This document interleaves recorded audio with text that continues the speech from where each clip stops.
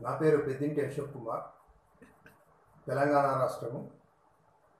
మా సొంత ఊరు భీముని మల్లారెడ్డిపేట రాజన్న సిరిసిల్ల జిల్లా. నేను వృత్తిరీత్యా ఉపాధ్యాయుడిని. ఇంతవరకు రెండు వందల కథల్ని ఆరు నవలల్ని రాశాను.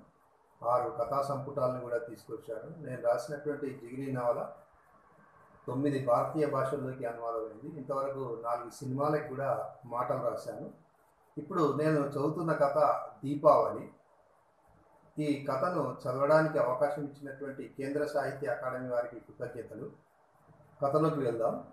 కథ పేరు దీపావళి. ఎవరో తరుముతున్నట్టు పరిగెత్తుకుంటూ వచ్చిన విక్కి కదులుతున్న కామారెడ్డి బస్సును ఎక్కిండు ఎగపోస్తూ ఒకసారి బస్సు అంతా కలియజూసాడు సగంకు పైగా ఖాళీగానే ఉంది. వెళ్ళి చివరి సీట్లో కూర్చున్నాడు. బస్సు వేగాన్ని అందుకుంది. సీట్లో వెనక్కి వాలి కళ్ళు మూసుకున్నాడు విక్కి. ఎన్నో ఆలోచనలు. గొల్లపెల్లి నాలుగు వరకు చేరుకుంటే బాగుండు. ఐదింటికి బడి బస్సు దొరుకు. గంట లోపల అమ్మకు అక్కకు బావకు బట్టలు గొందుంటిని రేపే దీపావళి కదా అనుకున్నాడు. ఒకసారి తల్లి రూపం కళ్ళ ముందు కదిలింది. తండ్రి బాగా అప్పులు చేసి ఎటో వెళ్ళిపోయాడు. ఐదారేళ్ళు అయింది ఉన్నడో లేడో కూడా తెలియదు చిన్న గుడిసె తప్ప ఆస్తులంటూ ఏమీ లేవు. తల్లి ఏడుస్తూ తండ్రి కోసం ఎదురు చూసింది. ఇక రాడాన్ని రూఢి చేసుకున్నాక బతుకు వేటలో పడింది. చెయ్యని కూలీ లేదు మొయ్యని తట్టలేదు అప్పులను అసలు కసలు సగం దాకా తీర్చడానికే ఏళ్ళు పట్టింది. అప్పుడే కూతురుకు సంబంధం వచ్చింది. చేతిలో ఒక పైస లేదు అవతల అప్పు పుట్టలేదు. అయినా ధైర్యం చేసింది. అటో ఇటో బిడ్డ పెళ్ళి చేసింది. కానీ కట్నం పైసలు బాకీ పడ్డది. ఇవాళ రేపని నెలలు గడిపింది దీపావళి వచ్చింది. ఆ రోజు బాగా గుర్తు విక్కీకి. అక్క బావ వచ్చిండ్రు. బావతో వాళ్ళ అక్క రజిత కూడా వచ్చింది. కట్నం పైసలు అడిగిండ్రు. అమ్మ కొన్ని రోజులు ఆగాలంది. పెద్ద గొడవైంది. తిట్టరాని తిట్లు తిట్టి అరిసి గీపెట్టి తినకుండానే వెళ్ళిపోయిండ్రు ఇద్దరు. రాత్రంతా నిద్ర లేదు విక్కీకి. ఏదో చెయ్యాలనే ఆరాటం. అక్క ఏడుస్తుంది. అమ్మ కూడా ఏడుస్తుంది. విక్కీకి ఎవరి మీదనో కోపం. మబ్బుతోనే నిద్ర లేచిండు. తనాపి తెరిచి చూస్తే ఐదు వందల నోటు కనిపించింది. తల్లి చూడకుండా జేబులో పెట్టుకొని బయటకు వచ్చింది ఇంకా మస్కగానే ఉంది. బజార్లో నడుస్తుంటే పాల మోటార్ కనిపించింది. ఎక్కి గొల్లపెల్లిలో దిగిండు. అప్పుడే భద్రాచలం బస్సు కనిపించింది. ఏది ఎక్కడికి అని అడగకుండా బస్సు ఎక్కించి పొద్దుగూపుతుండగా భద్రాచలంలో దిగిండు. సడన్ బ్రేక్తో బస్సు ఆగింది. విక్కీ ఆలోచనలు తెగిపోయాయి. ఎందుకు ఆగిందా అని ముందుకు చూశాడు గుండె జల్లుమంది. చేతిలో బ్యాగుతో బస్ ఎక్కుతూ కనిపించాడు రవిసార్ రవిసారు కేశవరెడ్డి సారు ఇద్దరు దోస్తులు. ఆయన చిట్టిలో మెంబర్ కూడా. విక్కీకి భయమైంది. తను దొరికిపోయినట్టే. రవి సారు తనను చూస్తాడు కేశవరెడ్డి సారు చెప్తాడు సారు వెంటనే నన్ను పట్టుకుంటాడు అనుకున్నాడు. కానీ రవి డోర్ వద్దనే ఎవరితో మాట్లాడుకుంటూ నిలబడ్డాడు.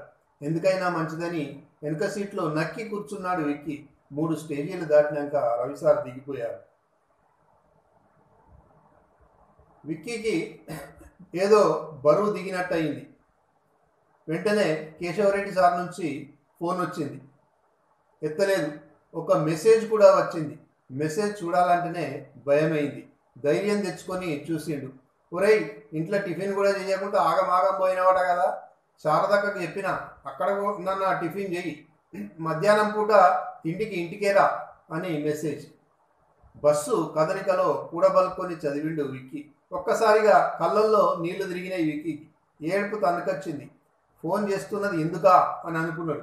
వెంటనే బస్సు దిగి పోయి తను చేసిన తప్పును చెప్పుకొని మీదబడి ఏడవాలనిపించింది. కానీ అక్క అమ్మ బావ అప్పు యాదికొచ్చినాయి.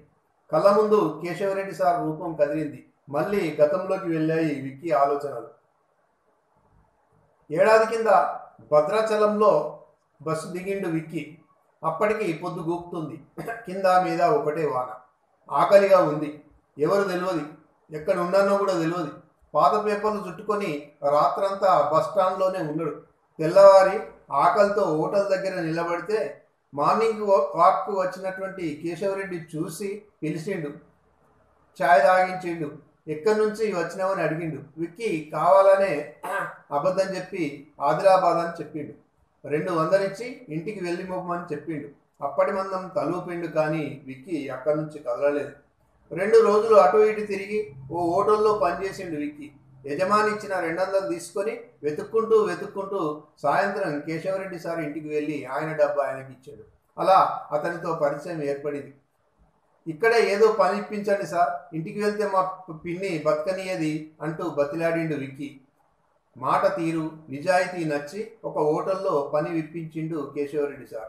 ఒకనాడు పొద్దున ఏదో ఊరికి వెళ్తూ చూసిండు కేశవరెడ్డి. విక్కీ పేపర్ వేస్తూ కనిపించిండు. మరొకనాడు పొద్దున మార్కెట్లో చూసిండు. విక్కీ కూరగాయల బస్తాలు మోస్తూ కనిపించిండు. మరొకసారి పగటిపూట చూస్తే హోటల్లో పనిచేస్తూ కనిపించాడు. విచిత్రం అనిపించింది కేశవరెడ్డి సార్. ఏమ్రా మబ్బుల ఓ పని పొద్దున ఓ పని పొద్దంతా ఓ పని రాత్రిపూటనే కదరా ఇక నువ్వు వట్టికుండేది అన్నాడు నవ్వుతూ. అప్పుడే హోటల్ యజమాని నవ్వుతూ అయ్యో వాని అసలు సంపాదన రాత్రిపూటనే సార్. ఎనిమిది నుంచి పదకొండు దాకా మల్లెపూలు అమ్ముతాడు హోటల్ యజమాని చెప్పాడు. వారి ముఖం రాత్రిపూట మల్లెపూలు అమ్మితే ఎవరుకుంటారా లాస్ అవుతావు రై అసలే మల్లెపూలు మరీ రేట్ ఎక్కువ. పొద్దున పూట అమ్ముకో ఊరికో పల్లెకో ఓయటం తీసుకుంటారు అన్నాడు. విక్కీ నవ్వుతూ పొద్దున పూట అయితే ఆడోళ్ళేగా ఉంటారు సార్. గీసి గీసి బేరమాడి మూరనో అరమూరనో కొంటారు. అదే రాత్రిపూట అయితే మొగోళ్ళు కొంటారు.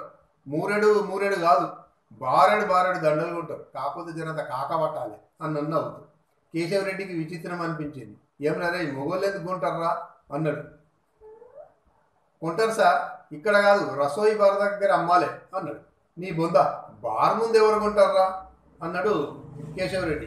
తాగినాకనే సార్ మగోళ్ళకి ఎక్కువ ప్రేమ ఉట్టుకొస్తుంది తాగుడుకు ఇంత ఖర్చు పెట్టిర్రు అమ్మగారికి ఒక పది రూపాయలు ఖర్చు పెట్టరా సార్ అంటే చాలు.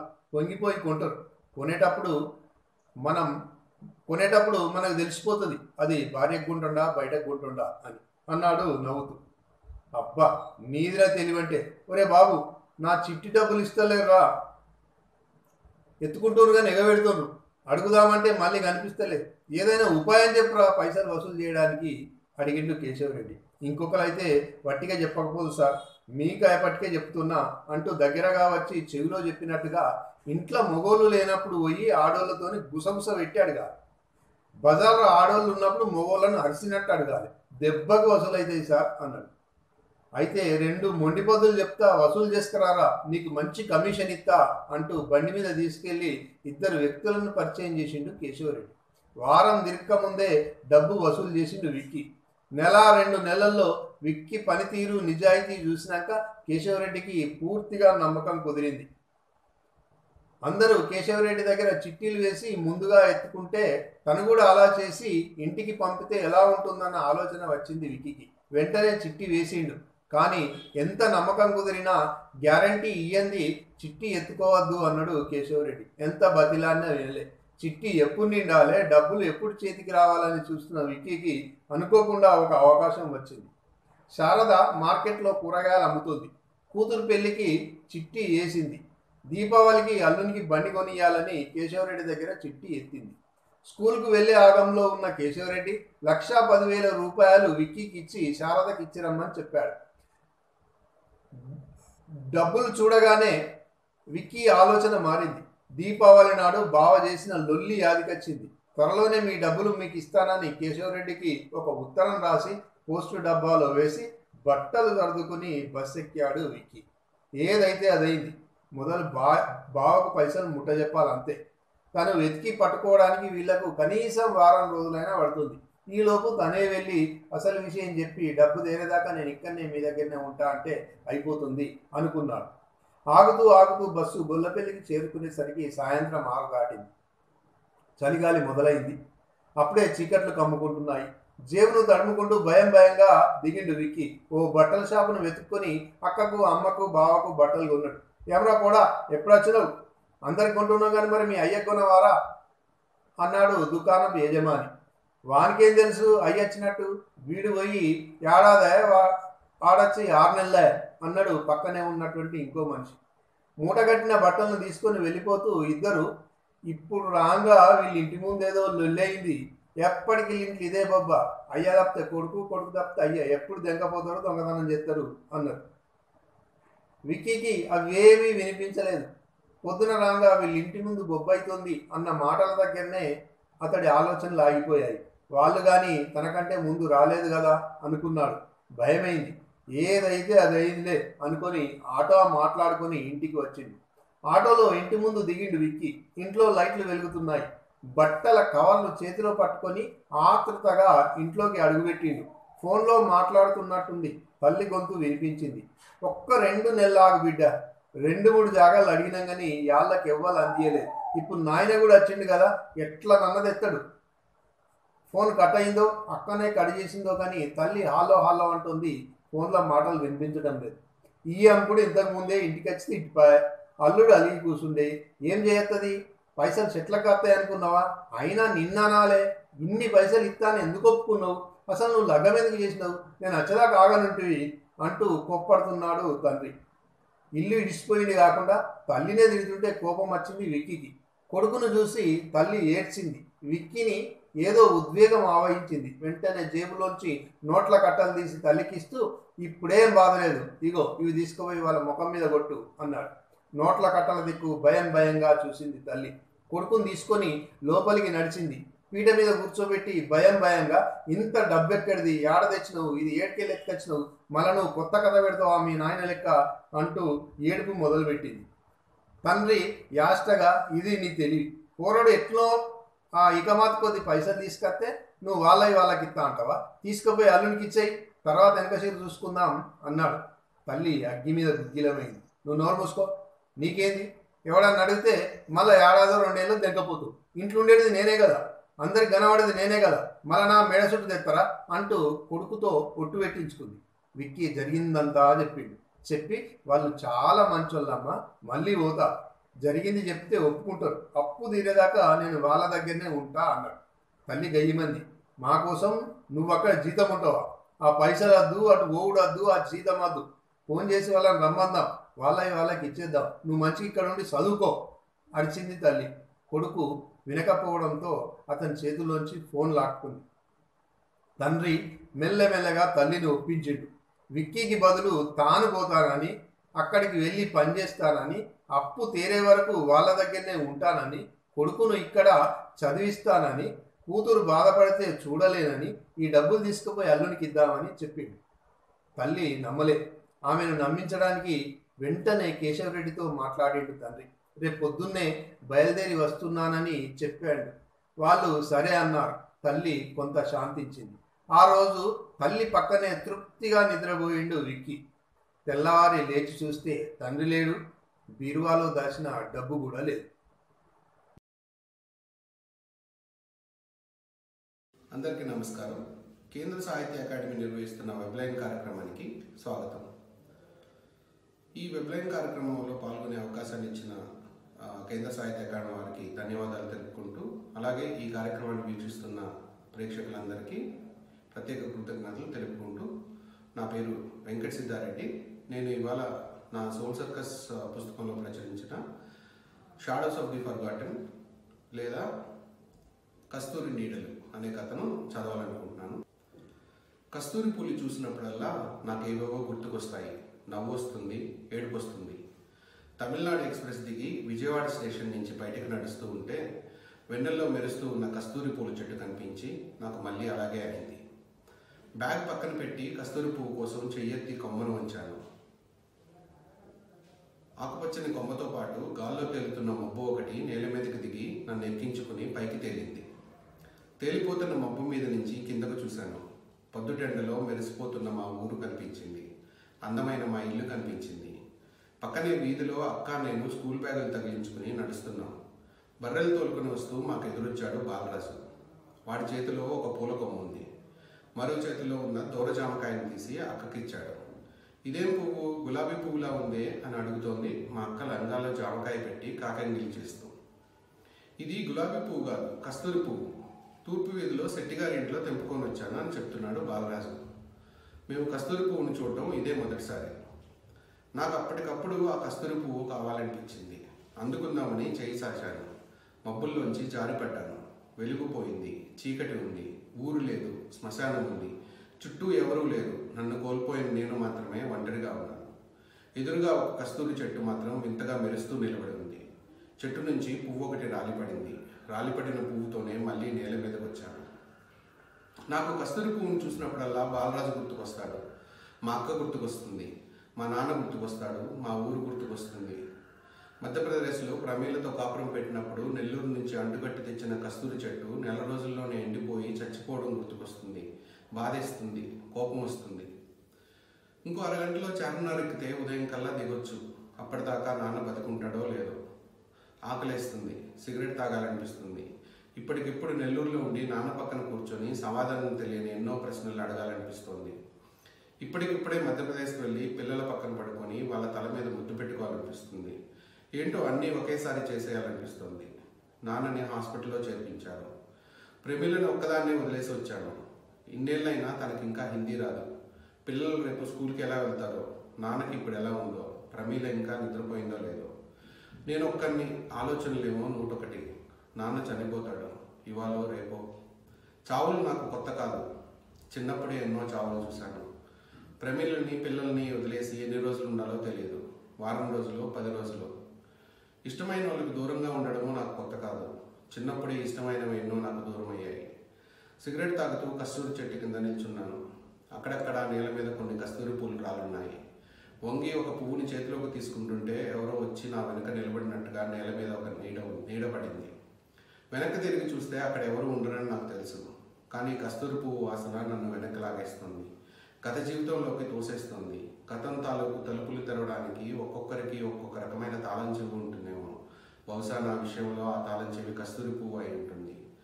చార్మినార్ ఎక్స్ప్రెస్లో కూర్చోగానే కళ్ళు మూతలు పడ్డాయి. నిద్రావస్థలో గతం గొంతులేవో నన్ను పిలుస్తున్నాయి. నివురుగప్పిన నిప్పులేవో నన్ను కాల్చేస్తున్నాయి. అప్పుడే నిద్ర లేచిన నీడలేవో నన్ను వెంటాడుతున్నాయి. నేను కూడా రైలులాగే ముందుకు దుక్కుతున్నా ఉరుకుతున్నా తెలిసి తెలిసి అగ్నిలోకి అంతులేని లోతుల్లోకి చేరుకుంటున్నాను. వెంకటయ్య శవాన్ని మా ఇంటికే తీసుకొచ్చాడు. అడవి పందులు రాకుండా పొలం చుట్టూ కరెంట్ లైన్ బిగిస్తూ షాక్ కొట్టి చచ్చిపోయాడు వెంకటయ్య. అర్ధరాత్రి హాస్పిటల్కి తీసుకెళ్దామని మండుపట్టు పెట్టాడు నాన్న. వెంకటయ్య చచ్చిపోయాడని ఊర్లో ఉండే ఆర్ఎంపీ డాక్టర్ ఎందుకు చెప్పినా నాన్న వినలేదు. వాడెంట చచ్చిపోతాడా ఒక్క చేత్తో నల్లెద్దును గుద్ది పడుకోబెట్టినాడు. అట్ట కరెంట్ షాక్కి చచ్చిపోతాడా? సరిగ్గా చూడండి వెంకటయ్య బతుకుతాడు అని నమ్మకంగా ఉన్నాడు మా నాన్న. అప్పుడు నా వయసు ఏడేళ్ళు. వెంకటయ్య చచ్చిపోయాడన్న బాధ కంటే పదేళ్ళుగా తన పని సులభం చేసే సేద్యగాడు పోయాడన్న బాధే మా నాన్నకి ఎక్కువని తెలియని వయసు నాది. ఉదయాన్నే కొట్టంలో పశువుల పేడకల్లు ఎత్తి దిబ్బలు వేసి సద్దన్నం తిని బర్రెలను తోలుకొని చెరువు కట్టకాడ తోలి మళ్ళీ మధ్యాహ్నాన్ని మధ్యాహ్నానికి ఇంటికి వచ్చి అమ్మ వండిన సంగటి పప్పు గంపలో ఎత్తుకొని పొలంలో కూలోళ్ళకి చేర్చి అక్కడి నుంచి వస్తూ వస్తూ చాటి చెట్టుకి కాయలు కోసి ముంజలు తీసుకుని ఇంటికి వస్తూ పశువుల్ని ఇంటికి తోలుకొచ్చి వాటిని కొట్టంలో కట్టేసి సాయంత్రం గడ్డి వాముకెళ్ళి గడ్డి దూసి పశువులకు వేసి అంతా అయ్యాక సాయంత్రం మా అమ్మ పెట్టిన అన్నం తిని ఇంటికి పోయేవాడు వెంకటయ్య. వెంకటయ్య లేకపోవడం అంటే అతని భౌతిక శరీరం మా మధ్యలో లేకపోవడం కాదు. మా ఇంట్లో జరిగే ప్రతి పనిలోనూ వెంకటయ్య లేని వెలితి కనిపించేది. ఆ లోటును పూడ్చడానికే అన్నట్టుగా ఒకరోజు మా ఇంట్లో ప్రవేశించాడు బాలరాజు. వెంకటయ్య ఒక్కగానొక్క కొడుకు బాలరాజు. వెంకటయ్య పోయినప్పటికీ బడిలో ఐదో తరగతి చదువుతున్నాడు. మా జీవితాల్లో వెంకటయ్య లేకపోవడం ఒక వెలితి మాత్రమే. కానీ వెంకటయ్య కుటుంబంలో ఆయన మరణం శూన్యంలా ఆవరించింది. ఇదంతా నా ఏడేళ్ళ కుర్రకు అర్థమైందని కాదు. పదేళ్ళ తర్వాత ఒకరోజు ఈ విషయాలన్నీ బాలరాజే నాకు చెప్పాడు. బాలరాజు అంటే నిండు పౌర్ణమి చంద్రుడు. బాలరాజు అంటే మిట్ట మన్- మిట్ట మధ్యాహ్నపు సూర్యుడు. పదేళ్ళ పిల్లవాడైనా ఇరవై ఏళ్ళ వయసు తెలియగలవాడు. ఒక కంట్లో వెలుగు మరో కంట్లో చీకటి. ఈ చీకటి వెలుగులను ఒకే దారంతో కట్టివేసినవాడు. ఒకేసారి ఇద్దరిగా ఉండగలిగేవాడు. ఎన్నుకున్నది అనుకున్నది. రెండు వేర్వేరు జీవితాలను ఒకేసారి నిజం చేయాలనుకున్నవాడు. బాలరాజుకి దాదాపుగా మార్క వయసే. వెంకటయ్య చనిపోయిన కొన్నాళ్ళకు వెంకటయ్య భార్య అంకమ్మ బాలరాజుని తీసుకుని ఇంటికొచ్చింది. ఆ రోజు నాకు బాగా గుర్తు. మా నాన్నమ్మలతో అంకమ్మ కూర్చుని మాట్లాడుతుంది. మేము ఇంటి వెనుక వేప చెట్టు కింద గోళీలాట ఆడుతున్నాము. బాలరాజు భయమే లేకుండా మా దగ్గరకు వచ్చాడు. నేను కూడా ఆడుతానని మాతో చేరాడు. సాయంత్రం అయ్యేసరికి మా గోళీలన్నీ బాలరాజు గెలిచేశాడు. మాతో పాటు ఆడుతున్న సుధాకర్ నా గోళీలు నాకు కావాలని ఏడవడం మొదలుపెట్టాడు. అదెలా కుదురుతుంది? ఆట అంటే ఆటే. తను గెలిచిన గోళీలు తిరిగి ఇచ్చేది లేదని చెప్పాడు బాలరాజు. సుధాకర్ ఇంటికి వెళ్ళి వాళ్ళ అమ్మని తీసుకొచ్చాడు. పిల్లల గొడవ కొంచెం సేపటికి పెద్దోళ్ళ గొడవగా మారింది. ఈ పిల్లోడిని మీ ఇంట్లో ఎందుకు ఆడనిస్తున్నారని సుధాకర్ వాళ్ళమ్మ గోల చేసింది. ఏం ఆడితే తప్ప అని బాలదాస్ని దగ్గరికి తీసుకుంది వాళ్ళమ్మ. మధ్యలో మా అమ్మ కలుగు చేసుకుని వాడికి నుంచి మా ఇంట్లోనే ఉంటాడు. మీ పిల్లలు వాడితో ఆడకూడదు అనుకుంటే మా ఇంటికి పంపించొద్దు అని సుధాకర్ వాళ్ళమ్మకి గట్టిగా చెప్పింది. సుధాకర్ని లాక్కుని అక్కడి నుంచి వెళ్ళిపోయింది వాళ్ళమ్మ. ఆ రోజు నుంచి బాలరాజు మా ఇంట్లోనే ఉండిపోయాడు. బాలరాజు ఇంటికి వచ్చాక అన్ని రోజులు వాడు లే అన్ని రోజులు వాడు లేకుండా మేము అసలు ఎలా ఉన్నామా అనిపించేది. రెండు మూడు రోజుల్లో మాకు బాలరాజు బెస్ట్ ఫ్రెండ్ అయిపోయాడు. మేము ఉదయాన్నే స్కూల్కి వెళ్ళేవాళ్ళం. వాడేమో బర్రెలను తోలుకొని పొలంలోకి వెళ్ళేవాడు. ఏ సాయంత్రం పూటో బర్రెలను తోలుకొని ఇంటికి తిరిగి వస్తూ స్కూల్ బయట ఉన్న పంపు దగ్గర మా కోసం ఎదురు చూస్తూ ఉండేవాడు. ఎండు ఉసిరికాయ పట్టు నమిలి పంపులో నీళ్ళు తాగితే తీయగా ఉంటాయని చింతకాయల్లో చీమ చింతకాయల రుచి చూడమని కొరివిదేయాలు లేవని రెండు తలల పాములు ఉన్నాయని ఎన్ని కొత్త విషయాలు చెప్పేవాడో వాడు. మేమంటే రోజు బడికి వెళ్ళి చదువుకునేవాళ్ళం. మరి ఐదో తరగతిలోనే బడి ఆపేసి మా ఇంటి సైతిగాడి అయిన బాలరాజుకి ఇవన్నీ ఎలా తెలుసో మాకు అర్థమయ్యేది కాదు. బడిలో కంటే అమ్మ ఒడిలోనే తాను ఎక్కువ నేర్చుకున్నానని చెప్పేవాడు బాలరాజు. కానీ బయటకు ఎంత సంతోషంగా ఉన్నా పెద్దయ్య కొద్దీ బాలరాజుకి తనకి చదువుకునే అవకాశం ఉంటే బాగుంటుందనే కోరిక కలిగింది. ఒకరోజు వాళ్ళ అమ్మని తీసుకుని మా అమ్మ దగ్గరికి వచ్చాడు బాలరాజు. పిల్లోడు చదువుకుంటాను అంటున్నాడు. వాడికి అన్నీ మీరే కాబట్టి ఏం చేయమంటారో మీరే చెప్పండి అని అంది. చదువుకోవడానికి డబ్బులు ఎవరు ఇస్తారు? వీడు బడికి పోతే నువ్వు మీ కూతురు ఏం తింటారు? అని మా అమ్మ అడిగేసరికి వద్దులేమ్మా నేను పని చేస్తాను అన్నాడు బాలరాజు. కానీ ఆ రోజు నుంచే బాలరాజు చదువు మొదలైంది. వాడి కళకు ప్రాణం పోసింది మా అక్క. రాత్రి లాంతర వెలుతులో కూర్చొని చదువుకుంటుంటే బాలరాజు కూడా వచ్చి మా పక్కనే కూర్చునేవాడు. తన పుస్తకాలు బాలరాజుకి ఇచ్చేది అక్క. క్లాస్లో చెప్పిన పాఠాలు వాడికి చెప్పేది. ఎందుకు వాడికి చదువు చెప్పి పాడు చేస్తావు అనే అమ్మ ఎప్పుడు కోరుతూనే ఉండేది. చదువుకోనిలే అలాగైనా వాడి కోరిక తీరుతుందనేవాడు నాన్న. నేను అక్క బాలరాజు మేమంతా ఒక టీం. ఊర్లో గోళీలాటలో మమ్మల్ని కొట్టి గెలిచే వాళ్ళే లేరు. కానీ ఒకరోజు మా టీంలో నుంచి అక్కని తప్పించేశారు. అక్క పెద్ద మనిషి అయింది. అక్క పెద్ద మనిషి అయిన రోజు నాకు బాగా గుర్తు. నేను అక్కతో కలిసి స్కూల్కి బయలుదేరాను. కొట్టంలో నుంచి బర్రెలను తోలుకొని మాకు ఎదురొచ్చాడు బాలరాజు. వాడి చేతిలో గులాబీ రంగులో ఒక పొలుగుత్తి ఉంది. కస్తూరి పూలను మొదటిసారి చూసింది అప్పుడే. ఆ రోజు మధ్యాహ్నం అక్క నాకు చెప్పకుండా బడి నుంచి ఇంటికి వెళ్ళిపోతే ఏమైందో అర్థం కాలేదు. మనుషులు పెద్దవాళ్ళు అయ్యాక ఎవరిష్టం వచ్చినట్లు వాళ్ళు తిరుగుతారు. కానీ పెద్ద మనిషి అయినప్పటి నుంచి మా అక్కని స్కూల్ని స్కూల్ ఎందుకు మానిపించారో నాకు అర్థం కాలేదు. పెద్ద మనిషి అవడం అంటే ఏంటో నాకు అప్పుడు తెలియదు బాలరాజుని అడిగాను. వాడికి తెలియదు అన్నాడు. ఆ రోజు సాయంత్రం మేము చదువుకోవడానికి కూర్చుంటే ఎప్పట్లానే బాలరాజు కూడా వచ్చి కూర్చున్నాడు. రే నేను చదివి చదివింది చాలు కానీ పోయి పడుకో అని అమ్మ కొంచెం కోపంగానే చెప్పడంతో బాలరాజు అక్కడి నుంచి వెళ్ళిపోయాడు. ఆ రోజు నుంచి మా దారులు వేరయ్యాయి ఏడో తరగతి అయిపోగానే నన్ను హాస్టల్కి పంపేశారు. టెన్త్ క్లాస్ పరీక్షలు అయ్యాకే మళ్ళీ తిరిగి వచ్చాను. అప్పటిదాకా మా ఊర్లో ఎవరింట్లోనూ పూల చెట్టు అనేది ఉండేది కాదు. కానీ ఆ ఏడు నేను మా ఊరికి వచ్చేసరికి ప్రతి ఇంట్లోనూ ఒక కస్తూరి పూల చెట్టు కనిపించింది. ప్రతి చెట్టు నిండా గులాబీ రంగు పూలు. ఊరు ఊరే కొత్తగా అనిపించింది. అప్పటికే ఊర్లో కరెంటు కూడా వచ్చింది. రాత్రి వీధి దీపాల వెలుగులో కస్తూరి పూలు మరింతగా మెరుస్తూ ఉండేవి. నాలుగేళ్ళ తర్వాత బాలరాజును చూసి ఆశ్చర్యపోయాను. బాలరాజుకి మీసాలు వచ్చాయి. పెద్దవాడైపోయాడు. ఊరంతా ఈ కస్తూరి పూల చెట్లేంటి అని అంటే అంటుకట్టి నేనే అందరిళ్ళలో నాటానని చెప్పాడు. ఆ సంవత్సరం ఎండాకాలం సెలవుల్లో హఠాత్తుగా అమ్మ చనిపోయింది. ఆ టైంలో నన్ను దగ్గరుండి ఓదార్చింది బాలరాజే. నా చేయి పట్టుకుని సాయంత్రం పూట బాలరాజు ఊరంతా తిప్పుతూ ప్రతి ఇంట్లోని కస్తూరి పూలు కోసి ఊరి చివర రామాలయంలో ఇచ్చేవాడు పూజారి అడుగు మీద కూర్చుని దేవుడికి దండ కడుతుంటే మేమిద్దరం అర్ధరాత్రి దాకా కబుర్లు చెప్పుకుంటూ ఉండిపోయేవాళ్ళం. పూజారి దగ్గరే బాలరాజు పుస్తకాలు తెచ్చుకుని రాత్రంతా చదువుతుండేవాడు. ప్రైవేట్గా అయినా డిగ్రీ చేయాలనుకునేవాడు బాలరాజు రెండు నెలలకు నన్ను మళ్ళీ హాస్టల్కి పంపేశారు. మా ఊరి నుంచి బయలుదేరుతుంటే నన్ను బస్ ఎక్కించడానికి వచ్చాడు బాలరాజు. ఎందుకు నువ్వు అక్కతో మాట్లాడడం లేదు? అని అడిగాను. అలా ఏం లేదే అన్నాడు. కానీ నేను అక్కడున్న రెండు నెలల్లో వాళ్ళిద్దరూ ఒక్కసారి కూడా మాట్లాడుకోలేదు. బస్సు కదిలి వెళ్ళిపోతుంటే మీ ఇద్దరి మధ్య ఏమైనా గొడవ జరిగిందా? అడిగాను. నవ్వుతూ నా వైపు చూశాడు కానీ సమాధానం చెప్పలేదు. కానీ వాళ్ళిద్దరి మధ్య జరిగింది గొడవ కాదని అది ఇంకేంటో అని నాకు తెలియడానికి రెండేళ్ళు పైనే పట్టింది. ఎంసెట్ పరీక్ష రాసి సాయంత్రం ఆరు గంటల బస్సులో ఊరికి తిరిగి వచ్చాను. నాన్న ఏదో పని మీద ఊరెళ్ళి ఉన్నాడు. నేను ఇంటికి వెళ్ళేసరికి ఇంట్లో ఎవరూ లేరు. ఇంటి వెనక్కి వెళ్ళి చూశాను. బయట బావగట్టి మీద కూర్చుని కస్తూరి పూలతో దండ కొడుతున్నారు మా అక్క బాలరాజు. నేను రావడం వాళ్ళు చూడలేదు. ఒక కస్తూరి పువ్వును చేతిలోకి తీసుకుని ఎందుకు నీకు ఈ పూలంటే ఇంత ఇష్టం అడిగింది అక్క. ఎందుకంటే ఇది నీ పెదాల రంగులో ఉంటుంది. దీన్ని ముద్దు పెట్టుకుంటే నిన్ను ముద్దు పెట్టుకున్నట్టే ఉంటుంది అన్నాడు బాలరాజు. వాళ్ళిద్దరూ అలా మాట్లాడుకుంటుంటే నాకు ఎందుకో చాలా ఇబ్బందిగా అనిపించింది. కానీ ఆ రోజు రాత్రి వాళ్ళిద్దరూ ప్రేమించుకుంటున్నామని చెప్పినప్పుడు నాకు సంతోషం వేసింది. మా ఇంట్లో తోటకు శో శోభను తెచ్చే అక్క ఆ తోటలోని పూలకు తేనెలు ఇచ్చే బాలరాజు ఆ తోటలో ఆడుకుంటున్న నేను. ముగ్గురు మళ్ళీ ఒక టీం అయ్యాం. ఎప్పుడు మీరిద్దరూ ప్రేమలో పడ్డారు? అడిగాను. అప్పుడు మేమిద్దరం వెన్నెల్లో చెరువు గట్టుపై కూర్చుని ఉన్నాం. చంద్రుడిని మబ్బులు కప్పేశాయి. మబ్బులు కదిలి వెళ్ళిపోగానే మళ్ళీ నీటిపై వెన్నెల మెరిసింది. ఆ వెలుగులో ఒంటరి తామర పువ్వు ఒకటి తలుక్కుమంది ఆ తామర పువ్వు చూసావా అని అడిగాడు బాలరాజు. నేను అప్పటికే దాని వైపు చూస్తున్నాను. కనిపిస్తోందన్నాను. అది ఇందాకటి నుంచి ఉందా? అడిగాడు. ఏమో నేను ఇప్పుడే చూస్తున్నానని చెప్పాను. నా ప్రేమ కూడా అంతే. పదేళ్ళు దీప్తి నన్ను చేయి పట్టుకుని వెలుతురులోకి నడిపించింది. ఒకరోజు హఠాత్తుగా పక్కకు తిరిగి చూస్తే అక్కడ ఒక పువ్వు ఉంది. నేను నీదాన్ని అని నా చేతిలో రాలిపడింది. బాలరాజ్ చెప్తుంటే ఎక్కడి నుంచో వచ్చిన పిల్లగాలి ఒకటి మమ్మల్ని తాకింది. అంతటి వెండాకాలపు వేడిలో కూడా ఆ గాలి వణుకు పుట్టేంత చలిని తెచ్చింది. అప్పటి నుంచి నాకు ఎక్కడెక్కడో తెలియని భయం. ఏం జరుగుతుందో అనే ఆందోళన. నా భయం నిజమైంది. ఎంసెట్ కౌన్సిలింగ్కి వెళ్ళి తిరిగి వచ్చేసరికి ఇంట్లో వాతావరణం పూర్తిగా మారిపోయింది. నాన్న కొట్టిన దెబ్బలకు అక్క మొహం అంతా ఉబ్బిపోయింది. రెండు రోజులుగా అక్క అన్నం తినలేదు. రోజంతా ఏడుస్తూనే ఉంది. బాలరాజు ఊర్లో లేడు. నాన్న కోపం చూసి నాకు భయం వేసింది ఎవరు ఏమీ చెప్పకపోయినా ఏం జరుగుంటుందో నాకు అర్థమైంది.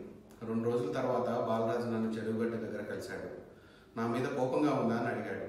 నాకైతే నిజంగానే కోపంగా ఉంది. కానీ కాలేదని కానీ లేదని తలూపాను. నేను దీప్తిని బాగా చూసుకుంటాననే నమ్మకం ఉంది. డిగ్రీ కూడా అయిపోతుంది. ఉద్యోగం తెచ్చుకుంటాను. మమ్మల్ని విడతీయుద్దురా అని చేయబట్టుకున్నాడు. నువ్వే మాకు సహాయం చేయాలన్నాడు. నాకు ఏం చెప్పాలో తెలియలేదు. చేస్తావా అని అడిగితే సరే అని తలూపాను బాలరాజుని చూడడం అదే చివరిసారి. వాళ్ళ అమ్మని చెల్లెల్ని తీసుకుని ఎటో వెళ్ళిపోయాడని ఊళ్ళో అందరూ చెప్పుకున్నారు. బాలరాజు వెళ్ళిపోయాక కారణం తినడం మానేసింది. చెట్లకు నీళ్ళు పోయడం మానేసింది. తోటలో కస్తూరి పూలు వాడిపోయి రాలిపోయాయి. అక్క కూడా వాటిలాగే వాడిపోయి ఒక రోజు రాలిపోయింది. హాస్పిటల్కి చేరుకునేసరికి మా చుట్టాలు కొంతమంది నా కోసం ఎదురు చూస్తున్నారు. చూడగానే ఏడుపు మొహం పెట్టారు. నాన్న ఇంకా ప్రాణాలతోనే ఉన్నాడు. ఐసీయూలోకి వెళ్ళి నాన్న పక్కన కూర్చున్నాను. నాన్న నన్ను గుర్తుపెట్టాడు. బహుశా నన్ను చూడాలనే కోరిక ఆయన అప్పటి వరకు ప్రాణాలతో ఉంచినట్టుంది. అతి కష్టంగా మాట్లాడటానికి ప్రయత్నిస్తున్నాడు నాన్న. నీకు విషయం చెప్పాలన్నా అన్నాడు నేను ముందుకొంగాను. బాలరాజు అని ఆగాడు. చెప్పు నాన్న అని గట్టిగా చేయబట్టుకున్నాను బాలరాజు చచ్చిపోయాడు అన్నాడు తెలుసు నాన్న అన్నాను. మూసుకుపోతున్న నాన్న కళ్ళు కొంచెం పెద్దవయ్యాయి. నేనే చంపేశానురా అన్నాడు.